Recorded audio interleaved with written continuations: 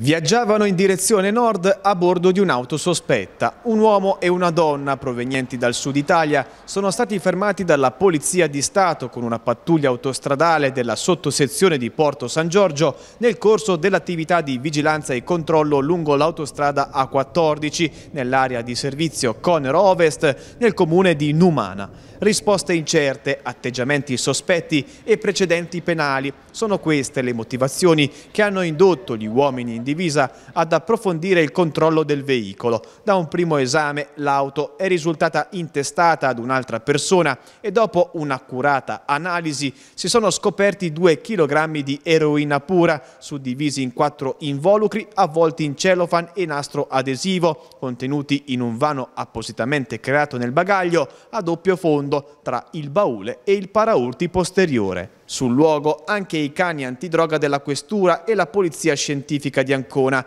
L'eroina avrebbe sviluppato sul mercato il doppio del quantitativo rinvenuto. I due corrieri sono stati arrestati per detenzioni ai fini di spaccio di sostanze stupefacenti. Sequestrati anche il veicolo e diversi cellulari. Il tutto è stato posto a disposizione della Procura di Ancona da parte della squadra di polizia giudiziaria del compartimento.